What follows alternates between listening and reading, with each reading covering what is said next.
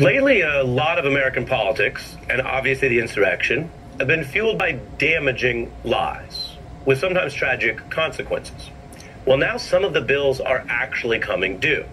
While the government enforces criminal law and has indicted many people for the insurrection or other acts related to Trump's election lies, another round of battles are being waged in civil court. And there's some big victories, which is why this is such a top story right now. You may recall how Sandy Hook families won two multi billion dollar cases against Alex Jones.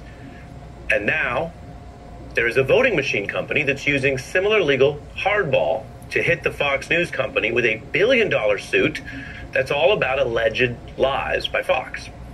And they're actually winning some of the initial skirmishes already over the process and how to get testimony and the facts, forcing Fox anchors to go under oath, including Tucker and Hannity.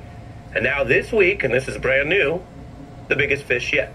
I'm talking about one of the most powerful media executives in the world. Someone who actually decides what people in many different countries see, someone who prime ministers and heads of state are afraid of, Rupert Murdoch has to go in under oath this week just like anybody else. And this is the Dominion voting machine case.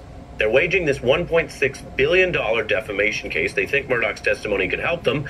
And they allege these false claims that Dominion voting machines were rigged.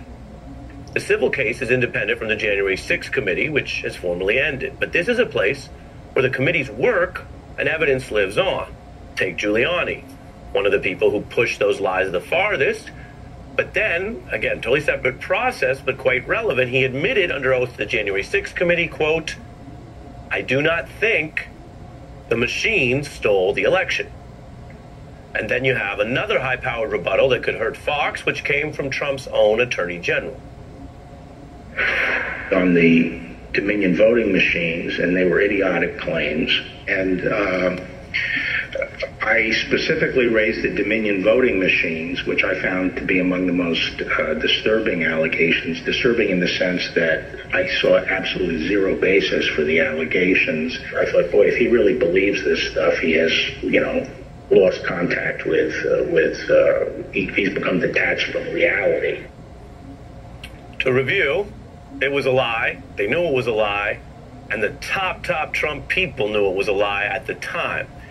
And that looks pretty bad. So you might say, what's Fox's defense here? Are they going to still wage the war of the big lie and claim it was all true? You don't have to be a lawyer to know that would be a pretty tough road to climb. They're not exactly doing that.